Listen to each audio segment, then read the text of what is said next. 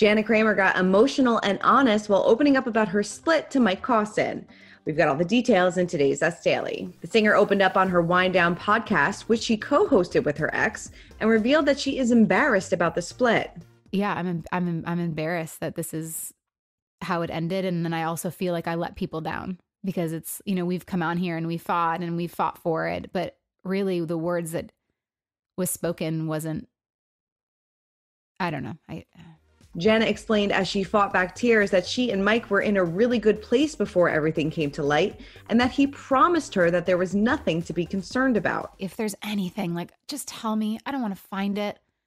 Like, it, whatever it is, like, we can work through it because I just don't want to. And like, it was a, such a connected moment. And, you know, he swore on his sobriety. There was nothing. And, um, so yeah, but knowing now that like what I know and not having to yeah not having to look at things and question and wonder and worry. There is some relief. The twosome previously separated in 2016 after us broke the news that the former football player was unfaithful. He subsequently entered treatment for sex addiction and the duo renewed their vows in 2017 i'm now weak. Mm-hmm.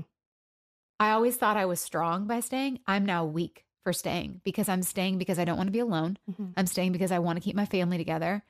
And I don't know if I believe if I don't I don't know if I believe a change anymore. The pair share two children, Jolie 5 and Jace 2, and she said that the hardest part will be when they leave her for their first overnight visit with their dad. Like the first time that they like leave for overnight? I'm going to be destroyed. It's not what I wanted. It's not what I worked for. It's not what I fought for. And it's not fucking fair.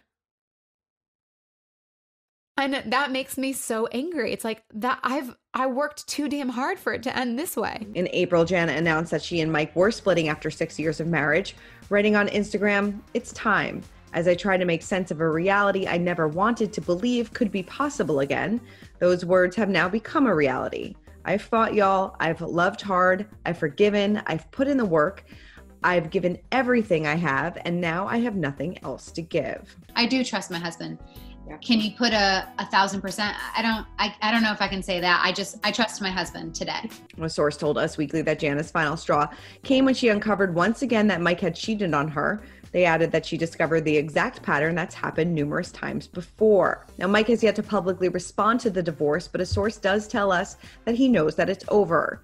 Now, earlier this year, Jana sat down with Us Weekly, and at the time she said that she didn't really fully trust her ex, who has been open about his sex addiction relapse in the past. I trust him more. I mean, I, I don't think, I mean, what I say, and we said this in the book too, like, I trust him today. You know, I, I do. I trust him today. He's showing up today. Um, he's showing up as a father, he's showing up as a husband, and he's living it with integrity. Um, and I had to do my work to continue to trust him the next the next day after that. The source tells us one of the reasons why she stayed so long was because she wanted to keep the family together and have more babies, adding that she was scared of what life would be on her own without him.